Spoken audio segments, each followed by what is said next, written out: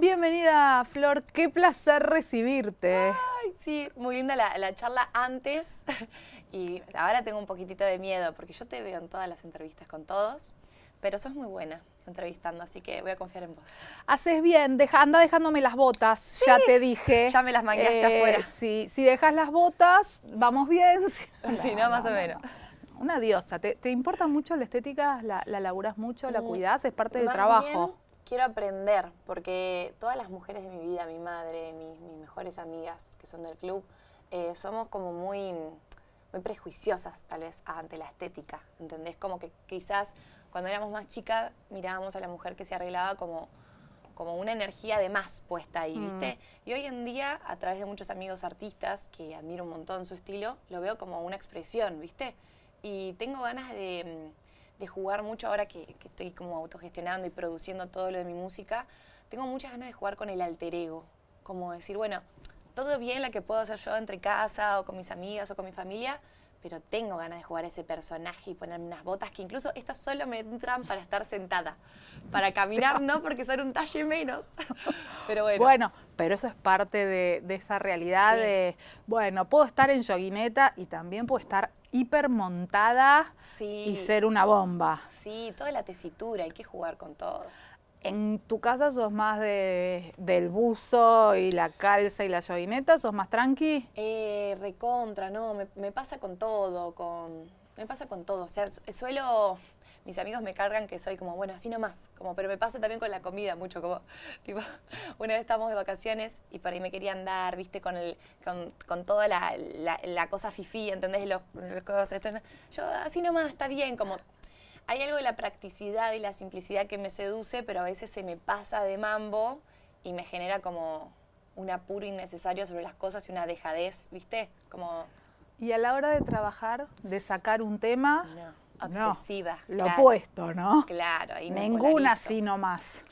No, claro, tenés razón. Creo que trata un poquito de, de eso, ¿no? Como el sistema, como ser práctica en ciertas cosas para que la energía te, te aguante para tus prioridades, que sin duda para mí el laburo, que por suerte pude laburar de lo que sueño de chica, y, y hoy en día como productora, hoy soy en, en todo lo que estoy haciendo, ocupo el 80% de mi, de mi tiempo en producirlo, porque como nadie me convocó, o sea, me, hubiese encantado que me digan, bueno, te quiero a vos para este, este proyecto, pero como no sucedió, lo, tu- lo tuve que empezar a crear yo.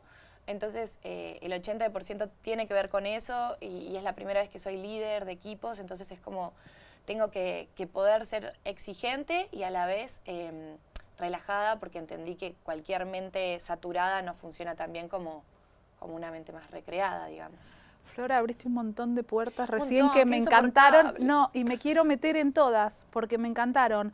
Primero hablaste de el sueño desde que sos chica. El sueño Sí. siempre estuvo en la artista. Sí, justo ayer hablaba con, con mi mamá.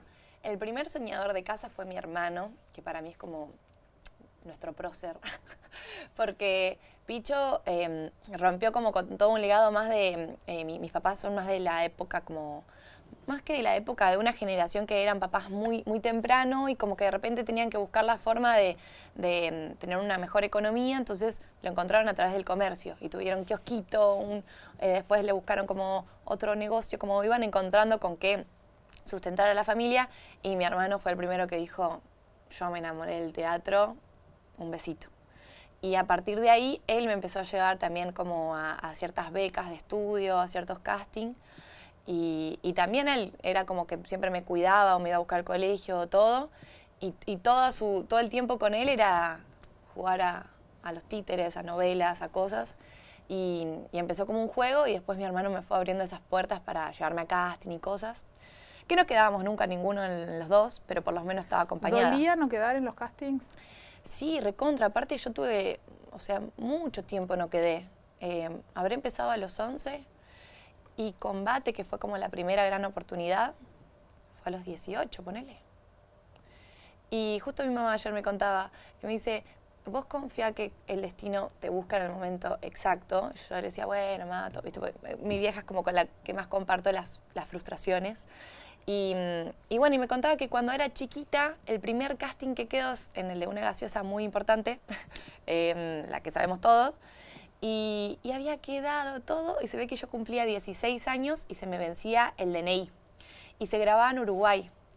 Y salíamos a la una y a las 11 de la mañana tuvimos que avisar que yo no, no pude hacer mi DNI. Y, me quedé- me- y mi mamá me decía, eso para vos fue fatal. Vos no sabes, lloraste por años. Encima yo después, mi mamá me dice, después me di cuenta que si pagaba una multa, lo podías hacer, bueno, no sé, como una cosa. Y, y después la vida te dio tu revancha y un seguimiento, porque después por suerte vino las otras Ahora oportunidades. voy a llegar a combate y todo lo que, lo que se abrió después a partir de ahí, pero eh, papás que la remaban mucho. Sí. ¿Y sí. acompañaron, bancaron ese sueño de tuyo y de tu hermano? Eh, ¿Apoyaban? Recontra. Eh, nadie se puso en contra, sino que si bien como que la motivación venía más desde el lado de mi mamá. Como que mi mamá es más como... Ella confía mucho en, el, en, en- poder... Siempre cuando hablo de mi mamá es como que la defino como una entidad muy, muy suprema, pero es que de verdad, mi mamá es desde muy chiquitita, es como que me entrena para decir, si vos nutrís a tu cabeza, podés hacer lo que quieras. Y fue como un poco eso, le preocupaba un poco porque no veníamos de, no veníamos de una estabilidad muy fuerte económicamente, entonces como que mi hermano se quiera dedicar a ser actor y yo también quiero ir por ese lado artístico, era como, ¿qué va a pasar? Pero siempre motivándome eh, a, que, a que lo haga de la mejor manera y a que... Pero tenía que ver con tu deseo con- y con, con el sueño de ustedes, no con pensar, bueno, si ellos la pegan, eh, nos salvamos, no pasaba por No, ahí. nada que en muchas familias pasa y, Pasa. y también es válida esa, esa necesidad. Yo no estoy de acuerdo, qué sé yo, para mí. No, cargar de eso a los Sí. niños, por supuesto que no, no, no, no, pero digo, pero puedo entender familias que tienen el sueño de que su hijo sea el próximo Messi, ¿no? Y, pensar en cambiar una realidad es ponerle una carga a los chicos tremenda. No era tu caso. No. El sueño era de ustedes. No, recontra, sí. Incluso Leili, que es la más chica, no, no tiene ganas de, de ir por nada de eso, ¿viste? Eh, está muy en la suya estudiando idiomas, kung fu, hace leichu. Bien ahí. Sí, sí, sí. En algún momento costó más cuando ustedes eran chicos. Tus viejos la laburaron Sí. mucho, la remaron mucho. Sí, yo creo que uno cuando ve las cosas como con el diario del lunes, eh, al, al haber superado muchas cosas, como que las, las ves con menos dolor y, y- y todo, ¿no? Como que ves con tanta incertidumbre al futuro que al pasado lo ves como con nostalgia. Eh, yo tuve la suerte de no tener eh, la economía para bancarme las clases, pero sí, como te digo, mi hermano, mi mamá, como que decían, dale, vas a poder. Entonces buscábamos la forma y siempre hice muchas audiciones para muchas becas, en muchas no quedé y en muchas sí. O sea, gracias a la beca que me dieron en Julio Boca, en Reina Rich y en otro colegio de teatro, yo pude estudiar un montón, pude hacer una formación que, que como te digo, también gracias a que la vida no me hacía quedar en nada, yo solamente podía estudiar y ensayar. Entonces, e incluso antes de que suceda combate, yo ya cansada de no quedar en nada, eh, empezamos a autogestionar una compañía que se llama Más que Cuatro, eh, que éramos cuatro amigos y hacíamos más que, cuatro roles justamente. Y me estoy acordando de eso acá con vos, porque digo, cómo la autogestión, como an- ante la hora de que no alguien no te dé el sí, como te lo creas vos, ¿viste? Había una busca. Había una como yo voy a hacer esto, ¿entendés? De hecho, algún profesor te dijo que no cantaras. Sí, 28 mil. No, yo por mucho tiempo me identifiqué con que el otro día, no es por compararme con ella, sino simplemente que me, me inspira, eh, vi el documental de Jennifer López y ella empieza así, el documental. Se los estoy spoileando, perdón. Pero empieza diciendo que ella se identificaba con la que hacía bien deportes o con la que bailaba. Su hermana era la inteligente o, su otra hermana era la que cantaba. Y es re difícil con que te identificas de chiquito y qué etiquetas te pones y qué tanto te quedas a vivir ahí eh, y qué tanta fuerza tenés para romper el cascarón de esa etiqueta y ponerte otra o, o ir en búsqueda de otras. Y, y para mí el canto simplemente era todas las materias musicales que teníamos en Julio Boca, eran simplemente una materia para poder cursar y tal vez poder ser ensamble de alguna obra power. En esos momentos estaba el casting de los, los Locos Adams. No quedé, claramente. Después también me acuerdo que iba a lo de Flavio Mendoza y también hacía todo y no quedaba. Me, me faltaba siempre algo. ¿Con Cris quisiste entrar también? Eh, con Cris Morena nunca tuve la posibilidad de hacer algún casting. No. No. Porque eso es algo también que hoy la gente me pregunta, como, ¿a dónde vas a hacer los castings? ¿Viste? Y un poco como que yo mi primer casting fuerte, o sea, lo primero importante que quedé fue combate, que fue el casting abierto, en realidad. Mi mamá vio la propaganda en Canal 9 en ese momento. Y bueno, y después de mil intentos, la vida me dijo, ahora sí. ¿Cómo fue ese ahora sí? ¿Cómo lo viviste? Hermoso.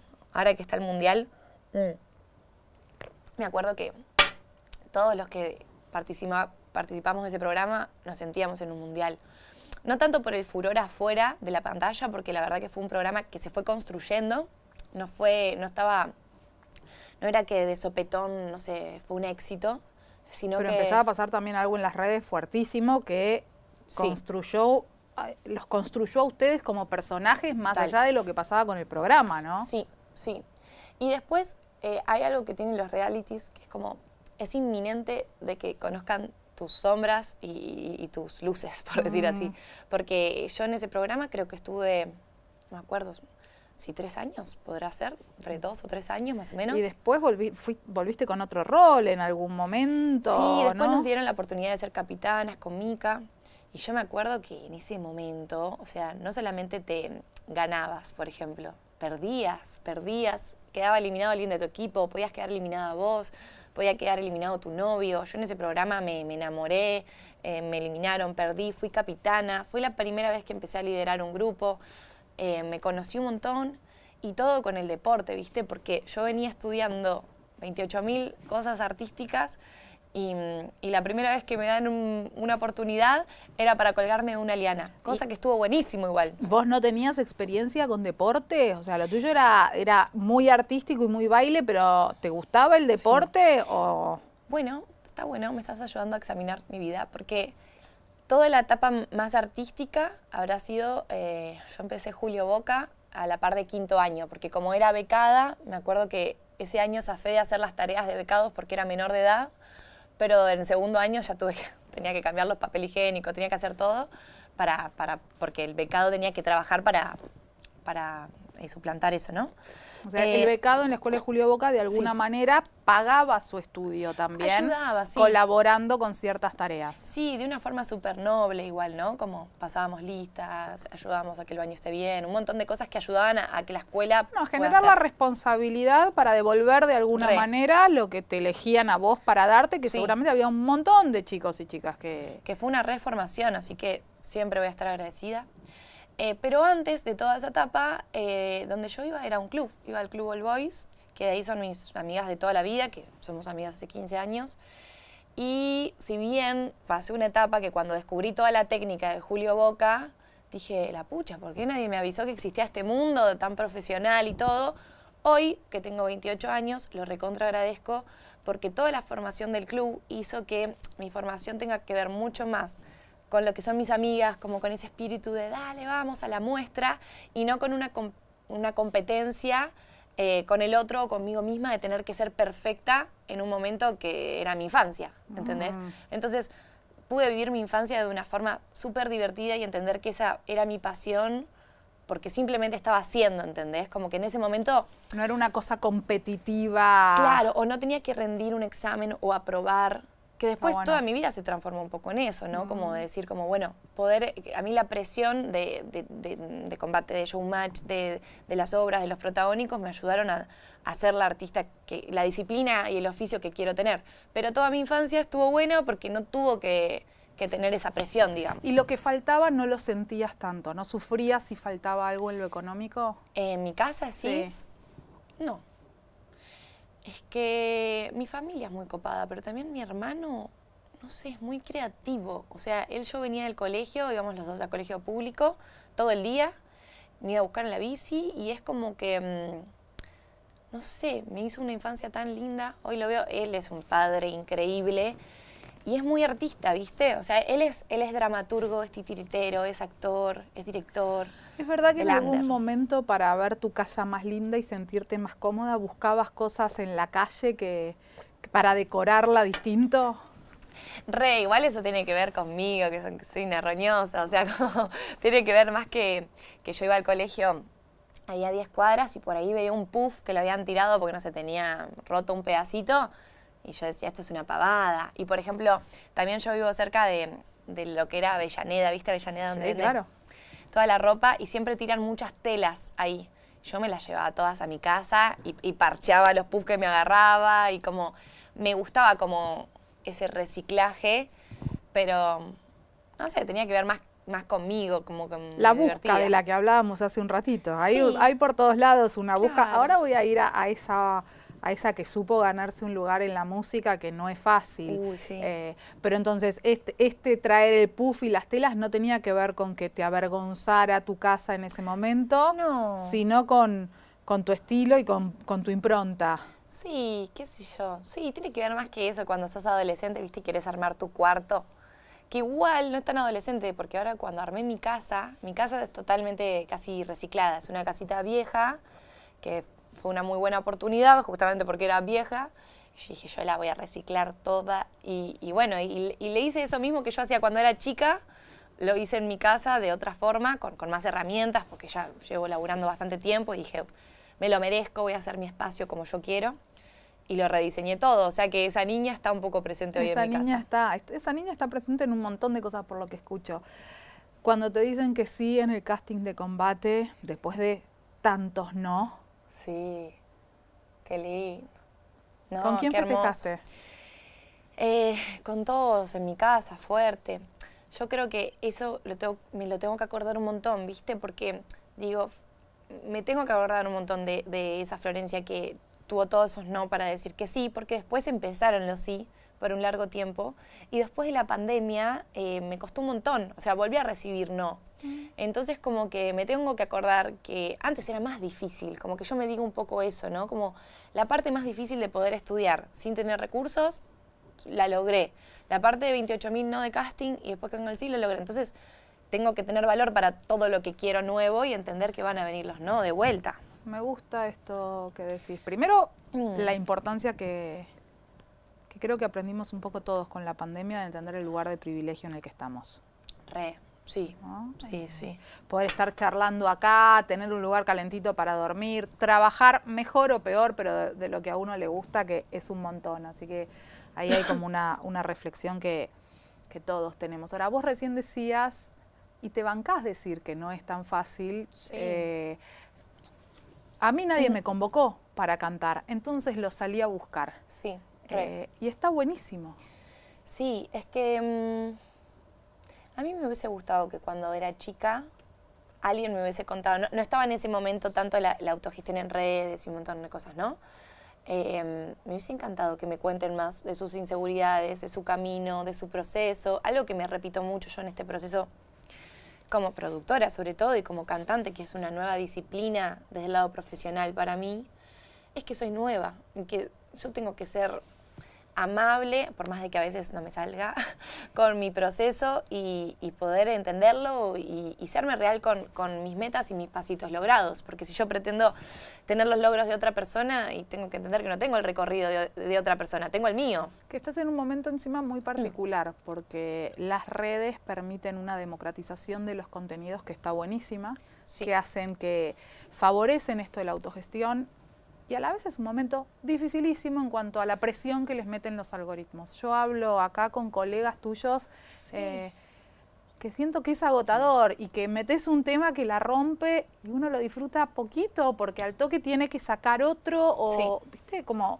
no sé, contame vos si es así como yo lo veo o, o si estoy equivocada, pero siento que por un lado está buenísimo, ¿no? No, no Sí. hace falta ser el tocado por la varita mágica de, de tal vez Sí. la discográfica, pero también, ¿no? Qué, qué presión. Hablo con chicos que me dicen que están a la mañana, no sé, el otro día, Grego Roselo, que se fijaba, dice, no, YouTube, si subo dos programas y no me fue así de bien, me deja de mostrar. Sí. Tal que tenés que estar en el ranking de no sé qué cosa.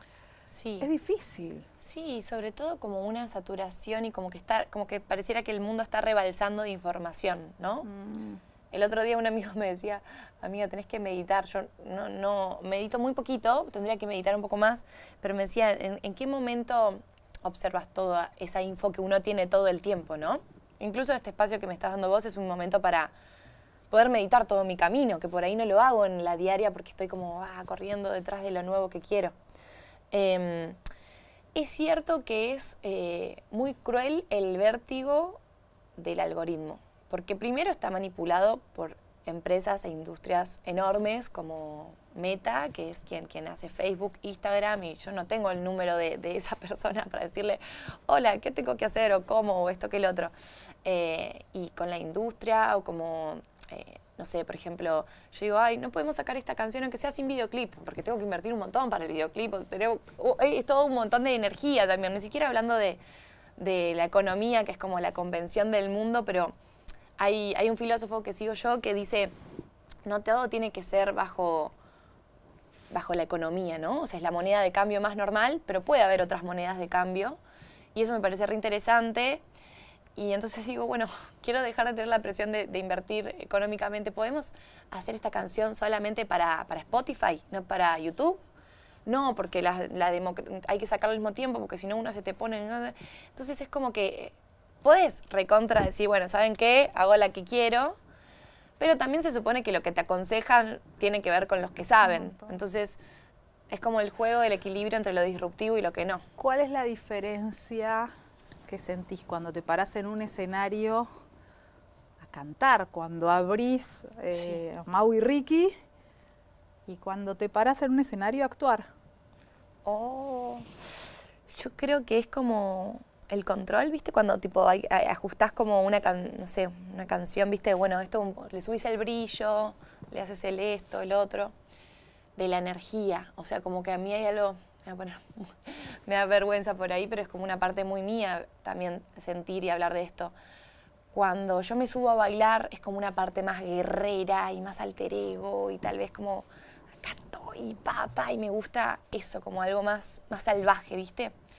Cuando me subo a actuar, como que me subo mucho como a los ojos de la otra persona y a como esa dinámica de, encontrar un equilibrio entre, entre con quien estoy actuando. Y a la hora de cantar lo que yo estoy aprendiendo, y más que nada lo que más me falta, por eso le, hago como mucho hincapié, es en la autoescucha, en la introspección, de poder encontrar la energía justa para darle a esa nota y a la vez eh, ponerle tu personalidad sin que eso desafine, digamos. ¿No es un lugar más expuesto el de subir a cantar y bailar? Tengo la fantasía hmm. de que cuando subís a actuar estás haciendo un personaje. No es una máscara más cómoda, sí. La voz es muy personal. En sí, también en lo que es la disciplina en sí, a mí me cuesta mucho porque no es una disciplina de fuerza, es una disciplina de armonía. Y yo todo lo tomo como yo puedo, ¿entendés? Como, sí, sí, a darle, a darle. Y acá es como, bueno, calmate un cancho, un cacho y hay que, viste, eje. Hablamos hace un ratito, mencionaste a tu grupo de amigas de toda la vida. Sí. Quiero saber qué pasó en ese grupo de chat cuando escribiste y contaste, estoy saliendo con Luciano Castro. Ah, qué gracioso. sí, tardé en contárselos. Se volvieron locas, sí, sí, obvio, no, no, nos cagamos de risa un poco porque no fue algo que alguna vez hubiese imaginado, o sea, como que yo, no sé, cuando vi Sos mi hombre, nunca pensé que iba a ser mi hombre, justamente. Em, y, nada, y como también nos encontramos en un momento muy peculiar de la vida, como que los dos empezando totalmente de nuevo, en, cada uno con sus etapas. Em, y bueno, y cuando lo conocieron, entendieron todo como es, es del grupo, es del barrio, es de, tiene una familia muy parecida a la mía. Eh, la verdad que el pasaje donde se crió él eh, queda a 20 cuadras más o menos de, donde me crié yo, digamos. Nunca nos cruzamos, pero es como que hay como una cultura muy parecida entre su mundo y el mío, ¿viste? ¿Cómo, cómo es el vínculo con un hombre que viene con hijos? Ay, ¿Cómo te encontrás en esa situación? Él es un papá increíble y creo que, no sé, es la primera vez que me pasa, pero lo que yo siento es que el hombre que descubrió el amor, eh, o por lo menos él, porque no puedo generalizar, quien descubrió el amor hacia un hijo, es decir, que descubrió el amor incondicional, porque él es totalmente incondicional con sus hijos, descubrió otro amor y, y ya está ahí ese superpoder disponible para lo que él lo quiera emplear. Entonces yo siento como que Lu tiene esto de que con quienes de verdad le interesa lo da todo y todo es todo. Y eso me enamora un montón. se los ve a, Luciano y a, Sabrina, su, su ex mujer, con un nivel de civilidad que muchas parejas separadas envidiamos profundamente. De hecho, se los ha visto a los cuatro juntos eh, alguna vez y decís, qué maravilla, esta gente entendió todo. Aparte, imagínate eso como mujer es una recontra garantía. Porque, viste que dicen que vos conoces a, la persona eh, de verdad cuando te separas, supuestamente, como las, miserias del otro. Mm. Entonces, yo cuando vi que ese tipo estaba tan bien con su mujer y todo, digo, wow. Y cuando la conocí a ella, que es una mujer hermosa, increíble, muy, buena desde el principio, em, dije que bueno, esto también me da garantía. O sea, si, si, si, el hombre con quien estoy estuvo 12 años con una mujer tan hermosa, quiere decir que es un buen hombre. Entonces es como que me vino bien. O sea, dije, es una buena garantía. ¿Te llevas bien con los chicos? Sí, son lo más. Son muy hermosos. Los tres. Bueno, todo bien, todo, todo una maravilla en ese sentido. Bueno, voy un año recién también, ¿viste? Van a pasar un verano lejos, porque él va a estar trabajando con la obra y vos estás con gira con mucho trabajo. ¿Cómo te preparas para eso? Y mira, produciendo ese mucho trabajo, también me gusta contar de eso, porque a veces de afuera mismo la ansiedad de los que nos quieren, ¿no? O sea, me, pasa con amigos como digan, bueno, pero para vos todo es re fácil, o ¿por qué no haces un fit con María Becerra? Y no, amigo, ojalá pudiera estar en esa etapa, pero no, no estoy en esa etapa, ¿viste? Estoy en la etapa de construir. Y en la etapa esta de construir estoy llamando a todo el mundo para hacer shows. Quiero hacer shows en Neuquén, en la costa, todo. Pero somos nosotros, eh, el, grupo, la mesa chica, somos tres, realmente. Mi mejor amigo, que es Tabito, y Maga, que estaba acá hace un ratito. Tenemos todos la misma edad. Eh, y estamos como descubriendo cómo podemos hacer para encajar en esta industria. Y, y bueno, y jugándonosla también. Todos estamos diciendo que no otros laburos. Eh, Está bueno lo que decís, porque apostar a uno tiene un costo también. En este caso, decir que no a otro trabajo, probablemente, porque sé que tenés propuestas, y también distanciarte de tu amor durante el verano. Sí, recontra. Es que este año fue el año que más tuve que poner todo sobre la mesa, mis creencias, mis tiempos, mi, mi, todo, y decir, bueno, ¿qué hago crecer? ¿Qué, forma nueva tengo que pensar? Por ejemplo, con la economía tuve que pensar de una forma re diferente. ¿Por qué? ¿Cambió mucho tu economía este año? Eh, sí, pero no para mal, sino como decir, bueno, hay laburos que voy a tener que dejar de hacer, eh, hay lugares que voy a tener que dejar de aparecer, eh, por tiempo físico también. Mm. no sé, había una película que si yo la hacía, realmente era mucho tiempo de grabación, no iba a poder prestarle atención al proyecto musical como el que le estoy prestando. Yo estoy 24/7 para mi música pude hacer el último pasajero porque lo grabábamos en un mes. Grabábamos en un mes todos esos contenidos. Y, entonces yo preparé antes de ese mes y posterior a ese mes, trabajé el triple para la música, porque sabía que ese mes lo tenía que despejar. Pero un montón de laburos tuve que decirle que no. Y, y fue re gracioso, por decirle algo lindo, decir que no, después de todo lo que me costó que me digan que sí, ¿entendés? o sea, como al principio fue, me asustó un montón, lo laburé un montón en terapia y era como, bueno, si no creo en mí, si no le doy tiempo a esto que quiero que madure. Es re importante lo que decís, porque es muy difícil en, en esta industria. Cuando uno dice que no, asusta mucho asusta mucho si sí. cómo, se, cómo lo va a recibir el otro, si después van a volver a llamar, si uno está haciendo bien o si se está equivocando. Yo tengo una amiga que trabajaba en una empresa que, que cobraba muy bien. Me dice, yo no pienso en, en, llegar al alquiler y la verdad que no quiero estar más en esa empresa hace cuatro años no quiero estar más en esa empresa. Y se quiere abrir una dietética y tiene un miedo tremendo, y obviamente, y, está bien que lo tenga, pero también está bien que piense, bueno, ¿qué pongo más en, la balanza? Si, si, mi economía llegar bien al alquiler o, o que la rutina se coma mis días y, como dice Shakira, que la monotonía te coma y de repente te encuentres, se me fue la vida. Qué valioso, de vuelta, desde el lugar de privilegio, poder elegir cómo uno quiere vivir, ¿no? Y, apostar, tener la posibilidad de hacerlo, porque también hay gente que tiene cuatro pibes y, que no puede tal vez tomar ese riesgo eh, mm. de, esa forma y, está buenísimo poder parar la pelota y decir, yo este verano quiero girar, estoy apostando a la música eh, y yo te voy a ir a ver por, por distintos lugares, allí nos encontraremos. Ahora, con Luciano armaron algún plan, hay trucos para, para sostener la distancia o, cómo lo vienen pensando? No, el amor. El amor, porque Mira, ya de por sí yo vivo en Paternal y vivo en Pilar. Es decir, cuando, cuando yo me, pintaba el amor, me, decía, bueno, el remis sale carísimo, pero lo vale porque yo lo quiero ver, ¿entendés? Así sea nada más para dormir, eh, porque estábamos muy a mil los dos. Y creo que va a ser un poco eso. ¿Hay un cuchareo cuando duermen juntos o cada uno a una punta de la cama? No, sí, somos muy encastraditos. Son, son pegoteados. ¿Y te gusta eso? ¿Sos romántica? Uy, sí, sí, recontra. Sí, sí. Sí, me gusta. Me gusta como esa cosa como de que llegas a casa y el mundo se pone en pausa, ¿viste? Y estás como ahí un ratito con el otro y estás bien, es como un momento de calma. Me da mucho calma, Lucho, me, me da eso. Y también mucha motivación, porque por ahí llego recansada de la vida y estoy como ahí, quiero acostarme y ya está, ¿viste? Y no sé, y hablar con él un ratito. Y al otro día arrancamos la mañana, el me entrena muchas veces, vamos al gimnasio y le damos ahí duro.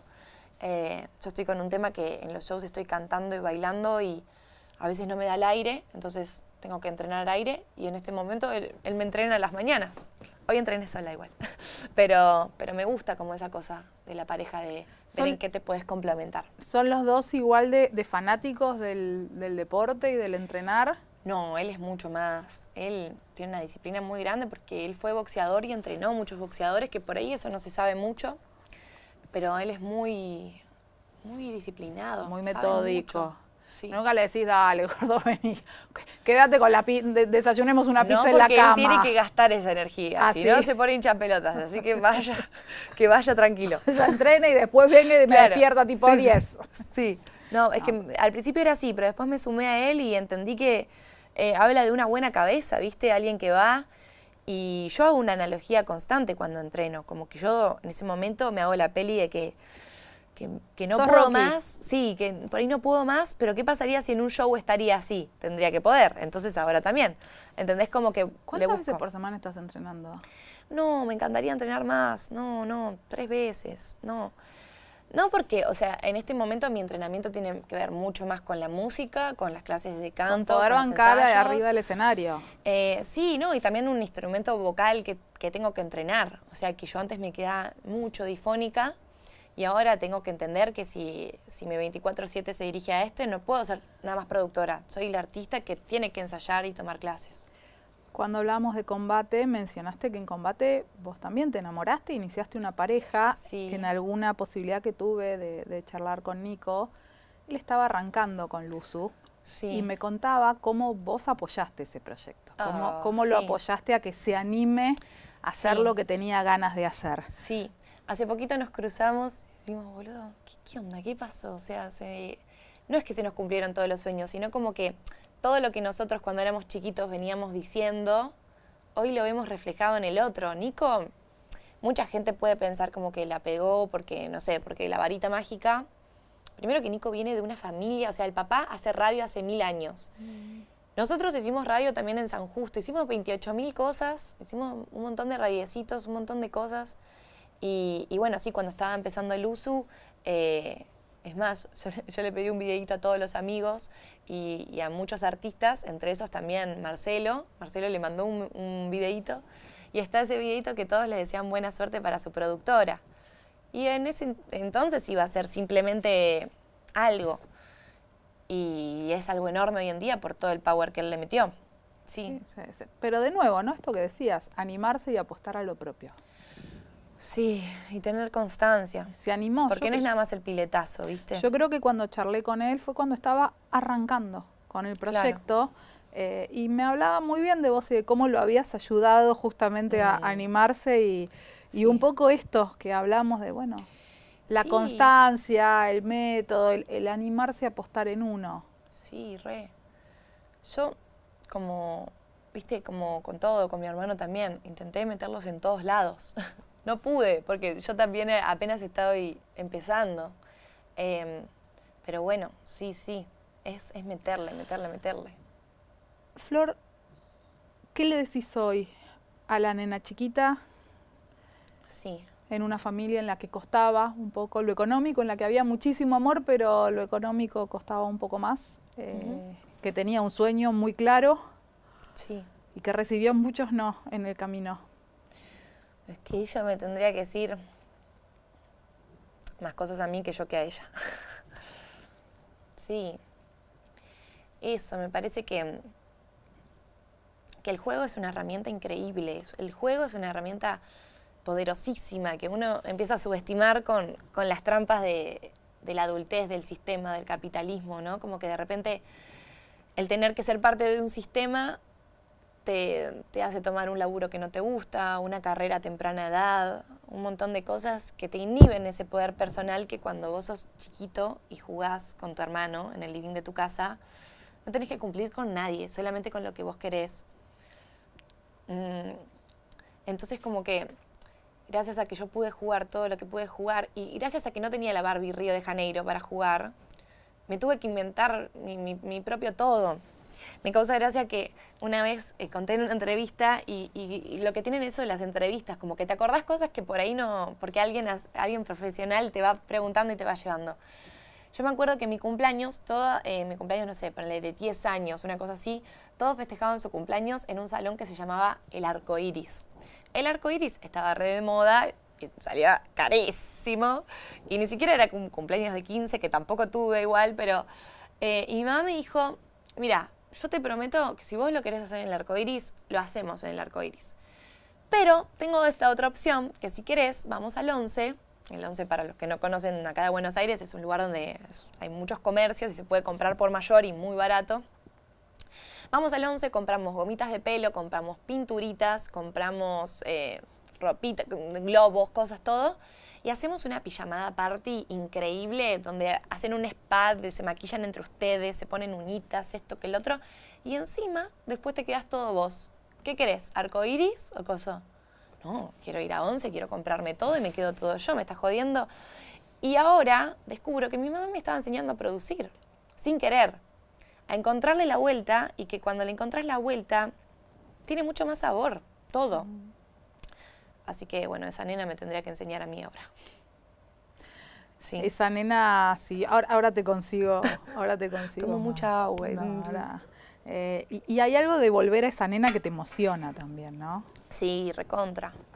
Sí. Le deben haber dolido algunos, ¿no? Re, obvio que sí. Obvio que sí, es, muy graciosa la, mente, porque ahora no, no, lo recuerdo con ese dolor, ¿viste? Como me acuerdo que mi madre me dice, vos, estabas llorando todo el tiempo. Es que puede ser un mundo muy cruel para los chicos. Sí, obvio, obvio. Sí, a ver, hubo momentos de, de la carrera, incluso que odio esa palabra carrera, no me gusta, es como estar corriendo tras de algo sin valorar el hoy, digamos. De la profesión. Sí, de la profesión.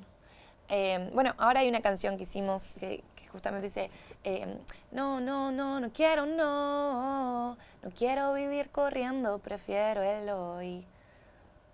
Porque es cierto, o sea, yo corro mucho atrás de las cosas y a veces digo, ¿por qué quiero correr tanto si, si necesito tiempo para eso? Y si pasan 10 años y consigo eso que quiero, mi mamá ya va a estar más viejita, ¿entendés?